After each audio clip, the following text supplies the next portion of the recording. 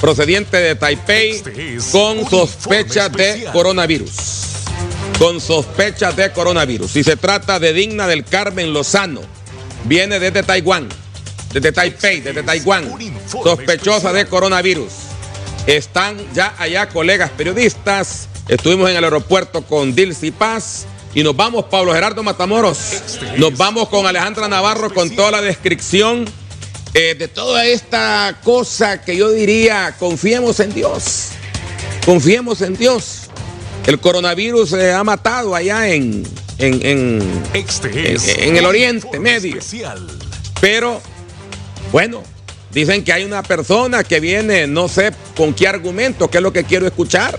¿Quién nos puede explicar por qué esta persona es considerada sospechosa? ¿Solo porque viene de allá? ¿O realmente ya viene... O si realmente presenta los síntomas. Ah, presenta los síntomas. Eh, bueno, Vamos con usted, Alejandra Navarro, describa. Especial. Visto que iba a funcionar como una sala de aislados y debido a eso nos notifican que la persona había presentado algún problema respiratorio y por lo tanto requerimos hacerle los exámenes. ¿Cuánto tiempo va a permanecer en el tórax, doctor?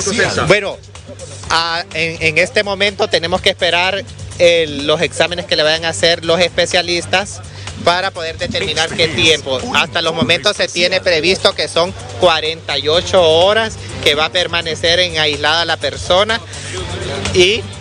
Doctor, ¿qué va a pasar con las otras personas que venían en este vuelo también? ¿Qué medidas se van a tomar? ¿Están, ¿Van a ser también investigadas?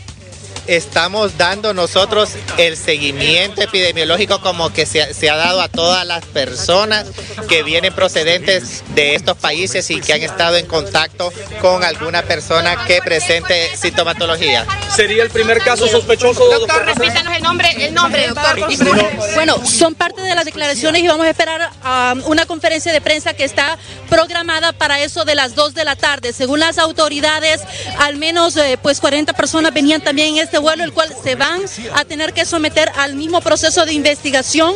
Como ustedes lo apuntaban en los estudios, la mujer ha sido identificada como digna del Carmen Lorenzo, quien viajaba de estos países asiáticos. Ella hizo escala en los Estados Unidos y en esta ocasión pues ha ingresado en una ambulancia del 911 al hospital del tórax. Importante destacar lo que han mencionado las autoridades y es que no hay que especular de que tiene el coronavirus. Por eso se va a someter a diferentes procesos, a diferentes exámenes, tampoco eh, hay, que descartar, hay que descartar, necesario descartar que va a ser remitida al hospital escuela, porque desde semanas anteriores las mismas autoridades de, de salud han notificado que la sede para poder atender personas con sintomatologías similares al coronavirus van a ser atendidas en el hospital del tórax. La conferencia de prensa va a ser liderada por parte de la directora Nora Maradiaga, también a las autoridades de salud, en este caso el doctor Roberto Cosense. Estamos esperando de que pueda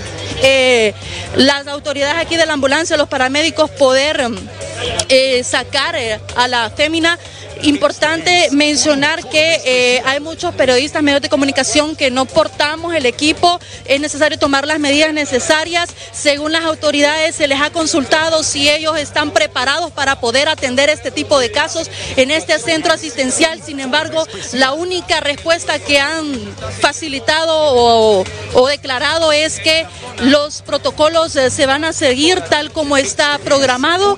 Eh, preocupante la situación porque este sería uno de los primeros casos con sospecha. Eh, permiso, permiso, compañeros. Eh, compañeros, regreso con ustedes a los estudios pendientes ah, del desabordaje de la joven digna del Carmen de 52 años de edad. ¿Cuántos años tiene doña Digna? ¿Cuántos años tiene Alejandra? Un informe especial. 52 años tiene la señora digna del Carmen Lorenzo. 52. ¿Y ella qué hacía allá en, en Taiwán? Informe especial. Se aduce, licenciado Eduardo Maldonado, que ella andaba realizando viajes, eh, al parecer sí tenía amistades. Este ella ha posteado en diferentes páginas de sus redes sociales, en Facebook, una visita que le hizo a unas amistades en el país asiático, eh, última fecha, el 13 de febrero del presente año. O sea que con solo que usted vaya a Taiwán, este bueno, en Taiwán no es la mata del coronavirus. Con solo que respire, Con, so- entonces. con en solo que, China. que usted vive en Taiwán o venga de allá, lo- lo- Eh, lo- o en Wuhan, todo el que venga de allá le vamos a poner una ambulancia para que y lo vamos a ir a internar al tórax. Eh, mire, yo quisiera a, a que nos tranquilicemos un poco, como medios también. Eh, como medios también tranquilicémonos un poco, Pablo Gerardo Matamoros. Claro, hay que tomar medidas, hay que tomar precauciones, pero no miremos este eh, eh, tan, tan extremo. Toda la logística que se ha montado creo que es correcta. El coronavirus mata. eh, a pesar de que allá la tecnología médica y los avances científicos son espectaculares, han podido demostrar allá en Corea, ¿verdad? Han podido demostrar construcciones rápidas de hospitales que uno se queda sorprendido, que hay medicamentos que ya se están creando para atacar el virus del coronavirus. Eh, pero, pero quiero que nos calmemos a esta persona. No es que tiene coronavirus. Hay que aclarar, Pablo. Se le considera sospechosa o se le está poniendo en cuarentena 24 horas porque ella viene del Medio Oriente. Creo que viene de... 48 horas va a estar en ella viene de- observación. sí, en 48 ella viene de horas Taiwán. viene de Taiwán. Entonces, este, claro, hay que tomar medidas, no estoy diciendo que no se haga, y eso ha logrado hoy, esta mañana, que la fueran a sacar del avión, eh, que la sobreprotegieran, que la trajeran en una ambulancia y que la llevaran hasta, eh, ella sabría, sabría ella, Pablo. Vamos a preguntarle a Alejandra Navarro si sabría ella, porque ha de haber sido un susto para ella. Ver que estuviera una ambulancia, montón ¿Quién de reportó, gente. ¿Quién reportó que ella venía No, no dicen que a través con de las los redes. síntomas? Que a través de. No, es que no es por síntomas. Dicen que solo como. como, O solo porque a- aislarla solo porque. No, pero creo que es correcto. porque, porque en Taiwán se confirmó la primera muerte el día domingo. Ah, pero ya está el coronavirus. No, claro que hay el coronavirus. El, día domingo se confirmó la primera muerte. La de los ministra de supuestos Salud 2000. dijo aquí en Hable como habla que se presentaba algún... eh, no quiso decir que era sospechosa, pero sí presentaba algunos síntomas, eh, tal vez no de coronavirus, pero sí presentaba algún síntoma eh, en Y cuanto a la que- temperatura. Y es que es doctora la ministra de Salud, pues. No, pero me imagino que ya le, ya, ya informaron. ¿Ah? Ya le informaron. Y también habló, venía enferma ella. también habló el viceministro de Salud, que sí es doctor Neri Cerrato. Y nos decía que sí viene con algunos síntomas. con Ajá, algunos ¿y síntomas. por qué, y por qué no, no, le, no la detuvieron o no, la, no le aplicaron cuarentena en USA? Porque venía de Taiwán, De Taiwán a Los Ángeles a y Los de Los Ángeles. Ángeles aquí a Tegucigalpa. Así es. No, no, yo, yo cre- no hay vuelo de Los Ángeles a Tegucigalpa. Ella debe haber volado de, de, de Los Ángeles, Houston y de Los- Houston. a- Sí. Exacto, Los Ajá. Ángeles, Houston y Houston, Por dos fronteras pasó, Pablo. Sí. Perfectamente. Dos aeropuertos en Estados Dos aeropuertos en los Estados Unidos. Y si fuera sospechosa o algún indicio de que ella estuviera eso o, o- o contagiada allá, allá de, de USA, no la dejan salir, no, ve, este, no la dejan entrar, Pablo. Vamos a preguntarle. Sí. Vamos a, mire, ahí está la, La hondureña. Digna del tiene- Carmen Lorenzo. Sí. Es la señora de camisa rayada. Sí, ella es. Ah, pero, Camisa pero, rayada. pero ¿con quién está ella ahí? Con amigos.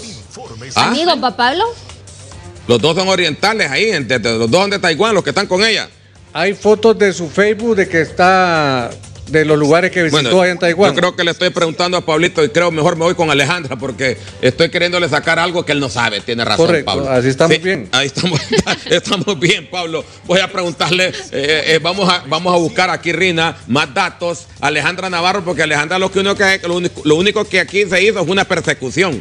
¿Verdad? ¿Para dónde llevaban a la señora? La señora está en el tórax. Pero ¿Es que así, ahí en el Pablo? Se va a morir todo el mundo porque ¿Ah? o sea, ahí ya están propensos con, con problemas de... No, y la gente, Pablo, démosle detalles. La gente en este momento está full conectada. Hay 4.615 solo en el Facebook. Póngame en YouTube. Y fíjese que en Taiwán, en Taiwán se han Ajá. confirmado 20 casos, 20 casos de personas infectadas con el coronavirus. O sea, 20 casos no es una cantidad exagerada. Uno es de los suficiente, no. Uno es no, suficiente, sí, pero, Rina. pero, o sea, la comparación, pues, o sea, no es una cantidad exagerada No, de personas que- infectadas. Yo creo que sí es importante. Ahora, este, la señora eh, se le está aplicando este proceso porque viene de ese sector, porque viene Claro. de Taiwán. Ella estuvo en Taipei Y eh, no es que está, no es que ella ya viene Especial. eh, con- con- contaminada, infectada con el virus. No, Sí, nadie ha no, es que eso. ahorita no se ha No, no confirmado. síntomas. Miren, No Ni tampoco confirmado. podemos decir que tiene síntomas. en una, en uno de, en una de sus publicaciones dice de en Facebook Pongámoslas pues. súper frío, pero disfrutando con mi hijo, extrañando a mi familia en Honduras. Ajá. Es un parte de, de, de- de lo Ella ha estado allá visitando a su hijo. Eh, por lo que Tu hijo está estudiando allá. Voy a- eso, eso es el seguimiento que creo que. Porque ahí está. eh, ahí, a- a- ahí la única Especial. de, de Taiwán ahí es la, es la de en medio. Ahí está, ¿ves? Súper frío. Pero disfrutando con mi hijo. Extrañando a mi familia en Honduras. Digna Lorenzo. Ahí está. El que tiene la vincha es el hijo. Sí, la- igual que sale ahí. Y el hijo ya está con, con protector, ¿verdad? Sí. Con máscara. Con mascarilla. Este O máscara se llama. No, mascarilla. Mascarilla, Mascarilla. mascarilla. Una mascarilla. Bueno. Ella, Podemos seguir revisando el Facebook de ella. sí, podemos seguir revisando el Facebook de ella porque a ella le han dado seguimiento vía Facebook. especial. Me imagino Sí. que las autoridades sanitarias, las autoridades de salud, dígame eh, eh, ahí, este, ayúdeme, eh, Susan, ¿cuáles son los síntomas del, del coronavirus? Ahí, ahí en la computadora usted los tiene. ¿Cuáles son los síntomas del coronavirus?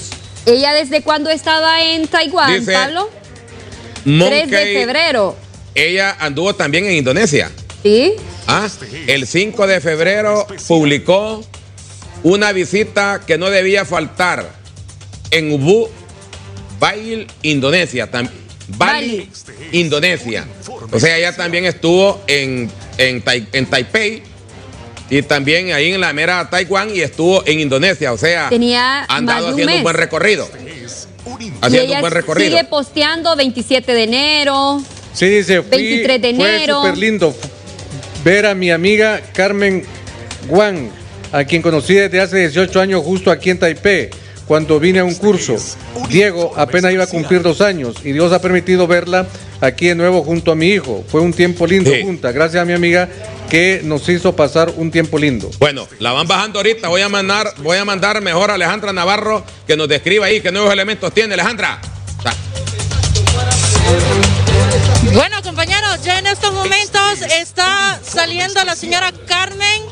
Eh, podemos ver que ella viene eh, pues en una, en, un- en una capa de protección, en unas cortinas, y en estos momentos está siendo, está siendo entre, inte- ay, a ver, Este está siendo, ay, no, especial. está, ya ha sido ingresada a una de las salas. Con las imágenes que proporciona Cristian Herrera podemos validar el ingreso de la señora Lorenzo, de 52 años de edad, quien va a mantenerse en este centro hospitalario por un lapso de más de 72 horas. Hasta este momento ya no tenemos acceso a la zona de vigilancia en donde va a estar la señora Carmen Lorenzo. Eh, ni- por- por- vamos a escuchar aquí a ver qué dicen las autoridades. No tenemos, no tenemos buena recepción. Vamos a. Ya ella ya fue ingresada, protegida y, y no le escucho, escucho la voz diferente a, a Alejandra Navarro porque creo que se puso cantidad. mascarilla también. Hay una gran cantidad de medios de comunicación también ahí en el lugar dándole ya fue cobertura. Sí, vamos, a, vamos Alejandra.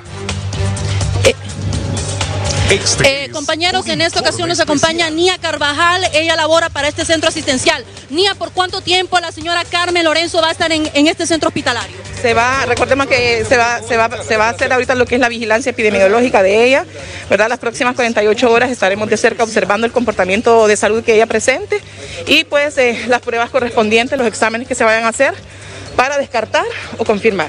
¿Cuál va a ser el proceso? Se habla de exámenes, pero sin embargo las autoridades no están mencionando qué tipo de exámenes. Son exámenes, o sea, son eh, de sangre, toda- todas pruebas sanguíneas que puedan reflejar que existe realmente alguna patología relacionada con el coronavirus COVID-19 o que, o, que se está descartando. De los síntomas del coronavirus, ¿qué síntomas está presentando la señora Carmen? Eh, síntomas de gripe normal, pero recordemos que tenemos que estar alerta, ¿verdad? De- por, por la epidemia que hay. Sin embargo, todo, todo va a estar bajo control. ¿Esperan a ustedes más personas de- del, del aeropuerto internacional Toncontín? ¿Perdón? ¿Esperan más personas ustedes, más traslados del aeropuerto internacional Toncontín? Hasta este momento no tenemos esa, esa información. Son parte de las declaraciones que están dando las autoridades en estos momentos.